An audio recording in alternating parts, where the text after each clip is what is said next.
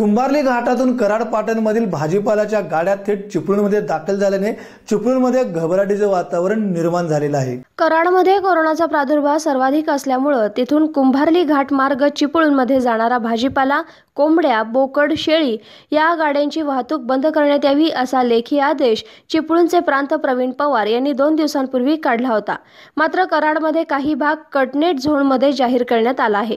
तरी सुद्धा कुंभारली घाटातून भाजीपाला आणि इतर गाड्या चिपळूणमध्ये आल्यावरून एकच घबराट निर्माण झाली आहे.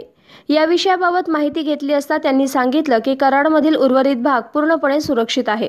त्यामुळे सुरक्षित भागातील भाजीपाल्यांच्या गाड्या चिपळूण तालुक्यात सोडण्यात येण्याचा निर्णय चिपळूण प्रांत यांनी घेतला. त्यानुसार कराड आणि पाटणमधील काही भाजीपाला यांच्या गाड्या कुंभारली घाटातून चिपळूण तालुक्यात सोडण्यात आल्या आहेत.